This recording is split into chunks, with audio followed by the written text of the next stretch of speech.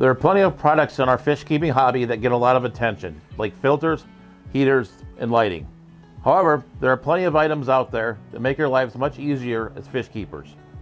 Some of these can even be a lifesaver in the case of an emergency. So let's talk about some of the top unsung heroes that are in our aquarium hobby. The five gallon bucket has to be one of the most versatile items that you could have in your fish room. It's also great for cleaning things, especially for rinsing substrate, filtration, and many of the other things that we actually need to clean from time to time. I've also used the five gallon bucket to culture rotifers, but you can also use it for many other types of foods as well. Due to its size, it's definitely a great fish holding vessel as well, for fish for quarantine, emergency situations, and even to treat fish for prophylactic means. The bucket also has many uses in the DIY world. There's many people out there who have built DIY filters using the 5 gallon bucket.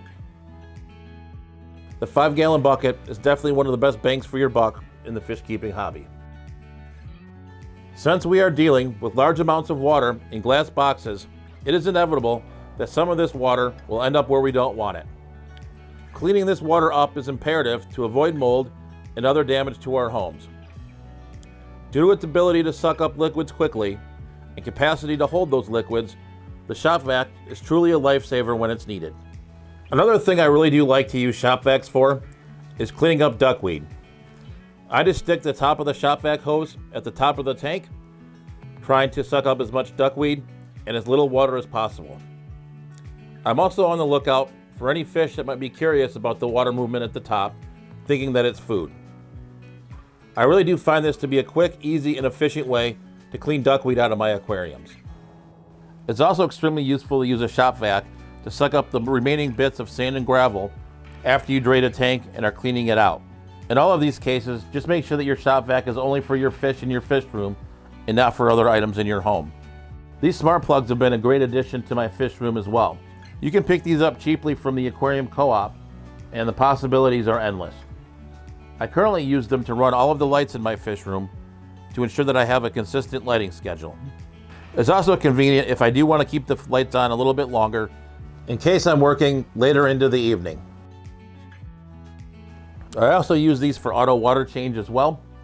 I just have them turn on for a specific time period at specific times during the day, which obviously makes my life a lot easier when it comes to maintenance in the fish room. I do have a video about how I did set up the smart plugs for lighting, uh, which I'll go ahead and put up here in the card. Alongside the smart plugs, you could also set up cameras in order to take video of your fish room so you can check on it while you're away. I personally haven't done this yet, but this is definitely something you can explore.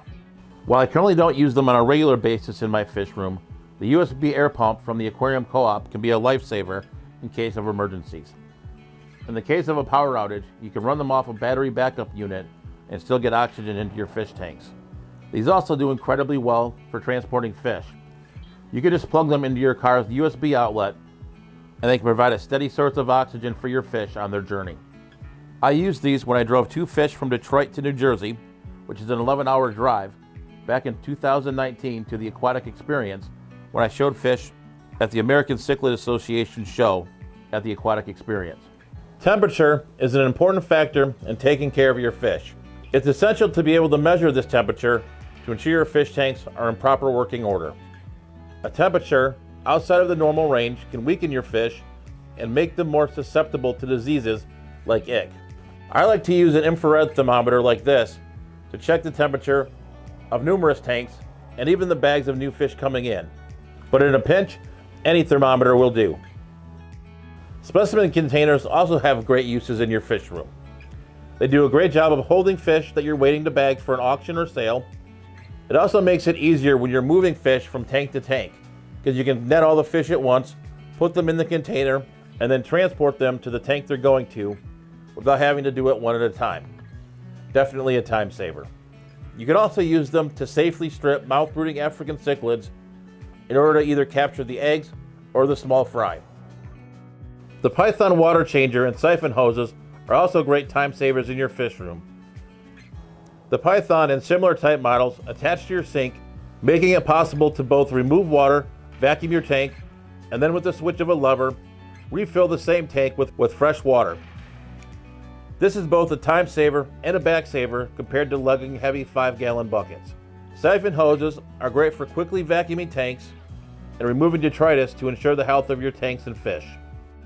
Gel style super glue is an incredible asset for your fish room. It does a great job of sticking plants like Anubias, Java fern, and various mosses to items like rocks and wood. These rhizome plants cannot be planted in the substrate as it would kill the rhizome and thus kill the plant. In the saltwater world, this type of super glue is also very good at attaching corals to rocks, much like you would the Anubias or Java fern.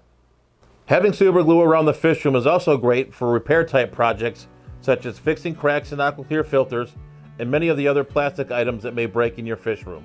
As long as you use the gel style super glue, it's incredibly fish safe and will not harm any of the fish in your fish room. Whether it's shooting videos, taking pictures of your fish tank, or just wanting a clean tank for your friends and neighbors, there are quite a few items that are handy to have around to clean up your fish tanks. Magnet cleaners are great for cleaning algae and other dirt off of the inside of your fish tanks. For that stubborn green spot algae, razor blades or the blade attachment for the mag floats work extremely well. For that hair algae on your rock work, the toothbrushes that you get from the dentist is an exceptionally great tool. There's also another product which is like an underwater toothbrush called the Sonic Scrubber, which I also like to use. If you're interested, you can find that on Amazon. For the outside glass of your tank, I really like to use the Fritz Glass and Acrylic Cleaner. It's safe for your fish and does a great job cleaning up your glass. This is another product that you can pick up at the Aquarium Co-op. Having a separate refrigerator and freezer unit in your fish room allows you to store that frozen food outside of your family's refrigerator. Definitely something to keep your household happy. You can also store larger quantities of dry feeds as well by keeping them fresh in the refrigerator. It is also possible to slow down the metabolism of live feeds such as brine shrimp and rotifers by putting them in the refrigerator. Humidity is another danger that can plague our fish rooms, causing mold to grow in our homes, which is a health hazard. We can use a dehumidifier to remove the humidity from our fish rooms. This also has the added benefit of adding heat to our fish room as well. Having covers on your aquariums of either glass, acrylic, or something like these DIY greenhouse panels will eliminate the evaporation and thus lower the humidity. These covers will also keep heat in your aquarium saving you money on electrical costs for heaters. I definitely hope that you enjoyed taking a look at some of the unsung heroes that reside in our fish rooms. Maybe you found something that you might need for your fish room. Maybe there was something that I missed as well. Definitely leave those in the comments so we all can learn. With that being said, stay safe out there, stay fishy, and I'll catch you on next Sunday's video.